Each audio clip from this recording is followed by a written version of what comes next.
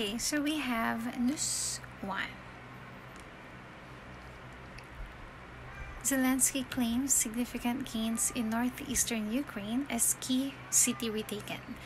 Ukrainian officials say the military has made sweeping gains in a counteroffensive in the northeastern Kharkiv region, with President Volodymyr Zelensky asserting that a key city in the region has been reclaimed by Ukrainian forces and the Russian offensive across the country are being repelled.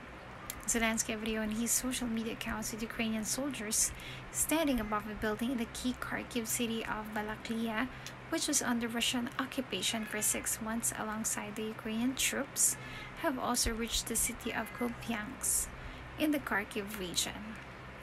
A key logistics supply hub showing Ukrainian soldiers holding a flag in front of a signpost in southern entrance of the city geolocated by CNN.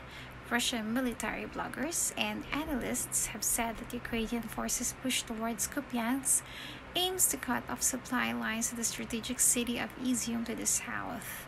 The order is fulfilled. Russian occupational troops have withdrawn, one of the soldiers says. So, used to Indian and Chinese troops disengaging from disputed border area New Delhi.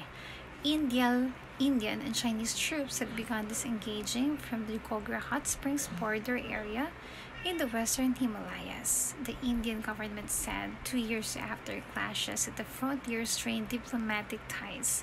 The statement comes ahead of a meeting in Uzbekistan next week, which Chinese President Xi Jinping and Indian Prime Minister Narendra Modi are expected to attend.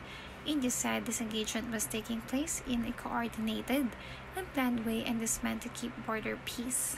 The eyeball to eyeball contact has ended, an Indian defense source said, referring to the latest agreement, although both countries still have thousands of soldiers lined up along the de facto known as the line of actual control.